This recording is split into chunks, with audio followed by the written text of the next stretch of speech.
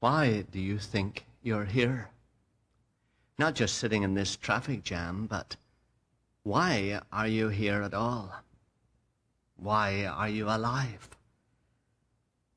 And many of us say that's much too big a question for me to answer. Uh, my problem is staying alive. My problem is just earning enough money to pay the rent next month. I haven't time for cosmic questions like, why am I alive? That's all right for wealthy people or people who have time to idle away in such philosophical vagaries, but I myself do not have time for that kind of question.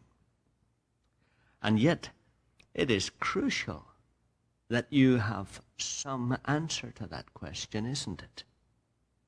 You may say, well, no, it's not. I mean, my job is just to get what food and shelter I need for today so that I can get up again tomorrow. But why get up again tomorrow? And you may say, well, yeah, that's exactly the question I've often to put to myself. When I think of the meaningless routine that I'm involved in day after day, I do wonder that at times. Why bother? Why get up and go through it all again? But I really can't think of an alternative. I don't uh, think I'm a suicide type. I don't see any sense in that.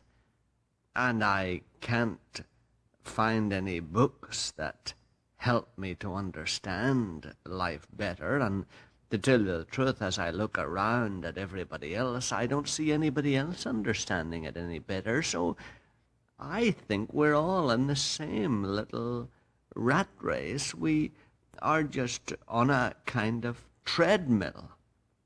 And we're just walking and walking and walking because there's nothing else to do. Eh, it's like the people who climb mountains because the mountain is there. That's what I'm doing. I'm living day after day, driving this car to work, coming back to this house because it's here. What else is there to do? And yet, it is true that we human beings are different from animals, isn't it? I mean, we are able to reflect on what we're doing uh, the psychologists call it a self-critical faculty.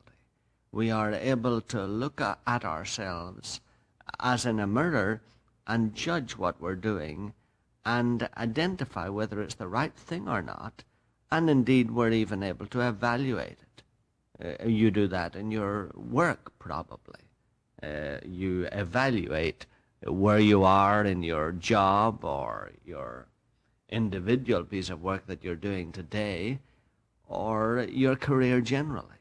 You come to the end of a day and you look back on the day. You may not want to look back on it, but you do.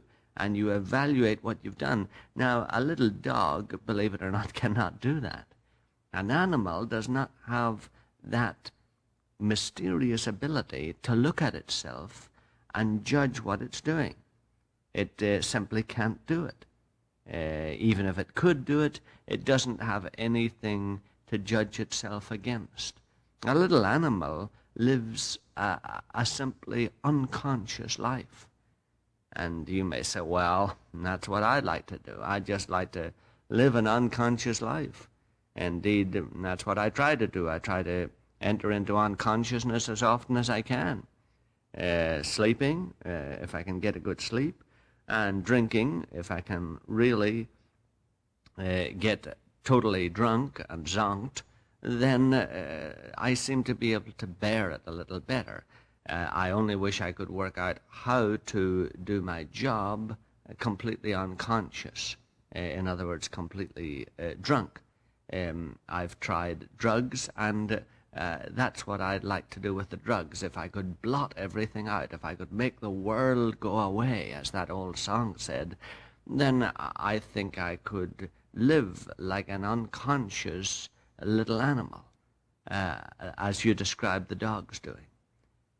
But it's true that you are more than a dog, aren't you? You are more than an animal that lives that kind of almost mindless existence. You obviously have abilities to think about these things.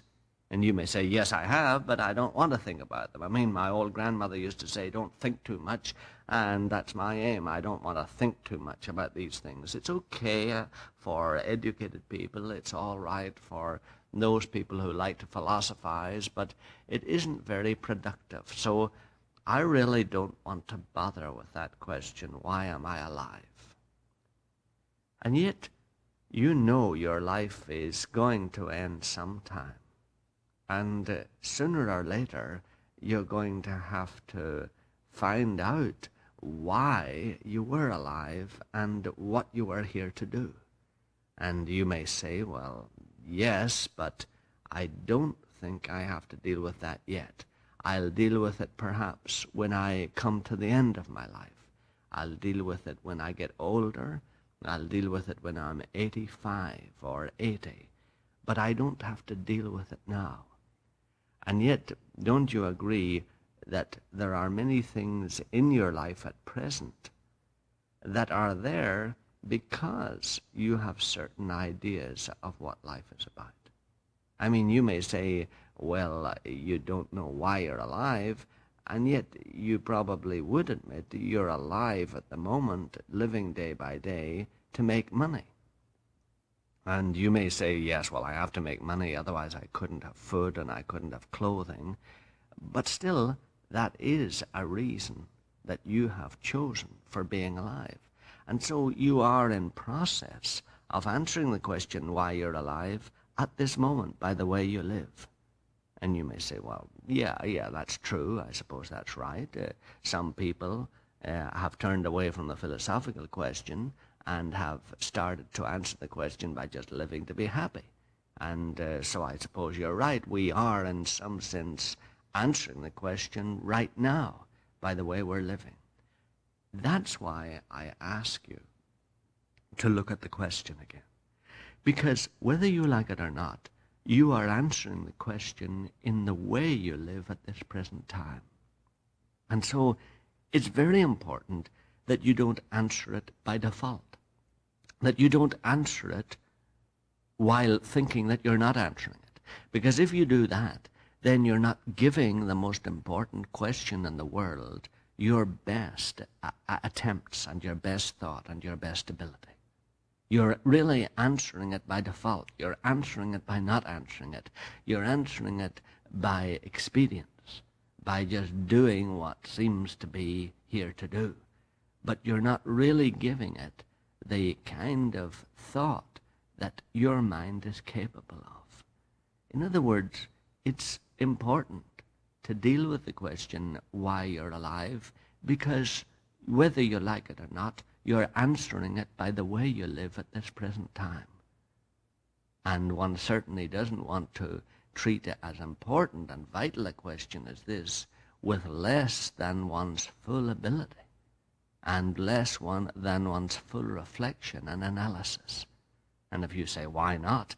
Well, because it's obviously the most important question in the world. If I asked you, why are you buying that car, you wouldn't say, because it's there.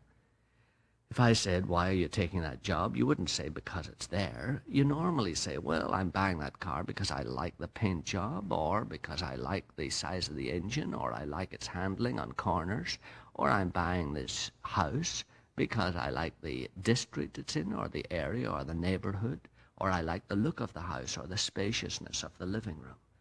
In other words, in ordinary everyday life, you always give your very best thought to the important questions.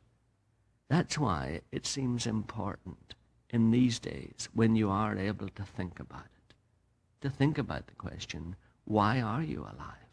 Why are you here? That's the question that we would just like to summarize an answer to tomorrow for a few moments.